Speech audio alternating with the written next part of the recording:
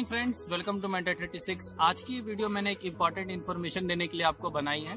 ये इस वीडियो के अंदर मैं आपको बताऊँगा कि बहुत सारे ऐसे बच्चों और बहुत सारे ऐसे एस्पिरेंट्स के क्वेश्चन मेरे पास आए, जिसके अंदर उन्होंने मुझसे ये पूछा कि अगर मैंने अपने टीचिंग डिप्लोमा के साथ कोई ग्रेजुएशन का कोर्स जैसे बीबीए बीसीए कुछ भी कोई अगर प्रोफेशनल या कोई ग्रेजुएट कोर्स किया है तो क्या वो वैलिड होगा? क्या इंटरव्यू के टाइम पे हमें उसे दिखाना चाहिए या नहीं चाहिए? तो फ्रेंड मैंने काफ़ी लोगों से पता किया और दिल्ली की यूनिवर्सिटीज दिल्ली के जो इंस्टीट्यूट हैं और जो हरियाणा के इंस्टीट्यूट हैं, मेरे काफ़ी फ्रेंड्स के साथ मैंने डिस्कस किया और मैं अब आपको श्योरिटी के साथ कह सकता हूँ कि अगर आपने अपनी ग्रेजुएशन के साथ कोई भी टीचिंग डिप्लोमा कोर्स या टीचिंग डिप्लोमा कोर्स के साथ कोई भी ग्रेजुएशन का कोर्स किया है तो वो दोनों साथ में वैलिड नहीं है। आप डिस्कालिफिकेशन तक जा सकते हैं और आपके दोनों सर्टिफिकेट्स नल एंड वॉइड हो सकते हैं। तो फ्रेंड्स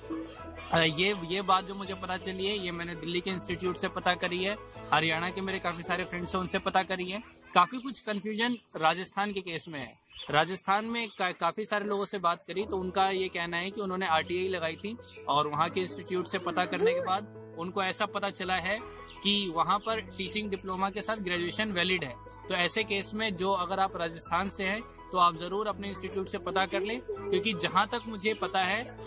दिल्ली और हरियाणा के केस में और अदर स्टेट्स के केस में भी किसी भी टीचिंग डिप्लोमा के साथ आपकी कोई भी ग्रेजुएशन की डिग्री वैलिड नहीं होगी। तो आशा है आपको ये वीडियो पसंद आई होगी। अगर वीडियो पसंद आई तो लाइक करें सब्सक्राइब करें और अपने सारे फ्रेंड्स के साथ इसको शेयर करें, जिससे ऐसे बच्चे जिनको इसी से रिलेटेड किसी भी चीज़ की डाउट है तो उनका ये डाउट क्लियर हो जाए। Thank you bye from Abhishek see you next time